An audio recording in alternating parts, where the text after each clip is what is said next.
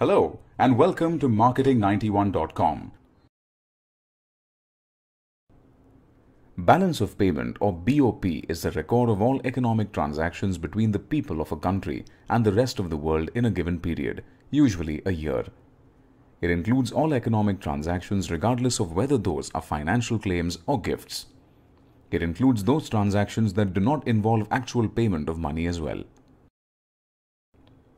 A country's BOP distinguishes between the items on the current and capital accounts. Current account includes merchandise or trade account, which includes only transactions related to all commodities exported and imported, and invisible account, which records all services rendered and revised by a country's residents.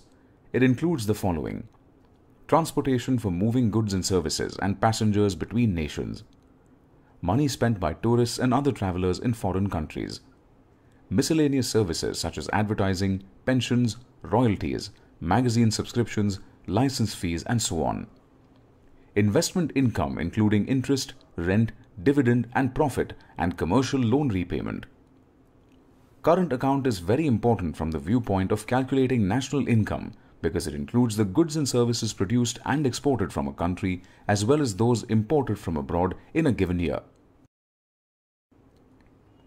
Capital account is used for paying debts and claims. Both short and long-term capital movements are recorded separately in this account. It includes items employed to finance exports and imports of goods and services such as private balances on government amounts, assistance provided by international agencies, and so on. These items do not affect a country's national income in the short term, but they change the stock of capital and may affect national income in future. Disequilibrium in a country's BOP appears either as a surplus or a deficit. B equals R minus P, where B is balance of payments, R is receipt, and P refers to payments. If B is positive, BOP is surplus because the country is receiving more from the world than what it has to pay. If B is negative, BOP is in deficit because the country is paying more to the world than it is receiving. And if B is in zero, BOP is in equilibrium that is, the country's payments and receipts are equal. Causes of disequilibrium are High economic growth leads to high levels of import. Improvement in living standards raises import capacity. Rapid rise in population results in higher consumption and lower exports. Heavy borrowing from developed countries leads to deficit. And inflation causes exports to fall. Moving on, the types of BOP disequilibrium are The first is cyclical disequilibrium, may be caused by economic trade cycles. During good times, prices rise and BOP is in surplus. During depression, prices drop and BOP is in deficit. Cyclical disequilibrium in BOP may occur because of the following reasons. Trade cycles follow different patterns in different countries income elasticity of import demand is different in different countries. The stabilization programs and measures employed by different countries are different, and price elasticity of import demand differs in different countries. Next is structural disequilibrium. It may be caused by structural changes in various sectors of the economy, either domestically or abroad. Changes in tastes, habits and incomes of people and so on lead to changes in import demand.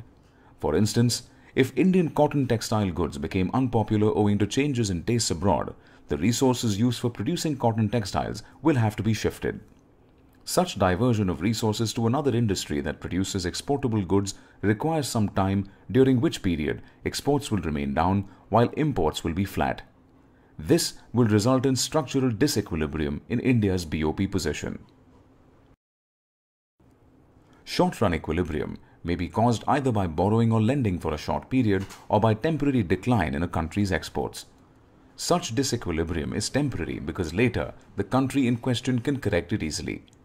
When such disequilibrium occurs over a long period, it becomes chronic and may severely affect a country's economic standing and international relations.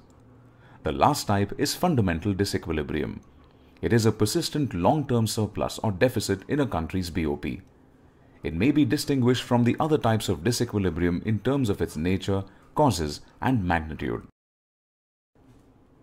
Whenever a country is faced with fundamental BOP disequilibrium, the government authorities of that country take certain drastic and deliberate measures to control it. Adverse BOP can be checked by implementing the following measures. Monetary measures.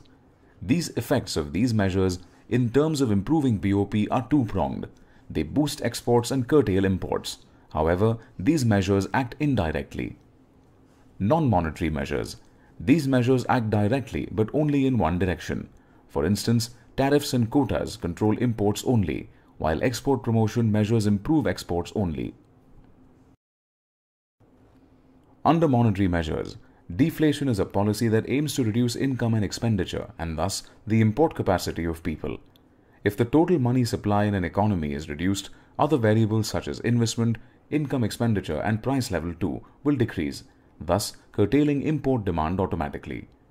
Simultaneously, the demand for domestic goods in international markets will increase owing to a fall in their prices. Thus, export will be promoted and import will be controlled. Exchange depreciation refers to a decline in the exchange rate of one currency relative to another currency. Suppose the rate of exchange between the Indian rupee and the US dollar is dollar $1 is to 10 rupees. If India experiences adverse BOP relative to the US, the external value of the rupee will depreciate.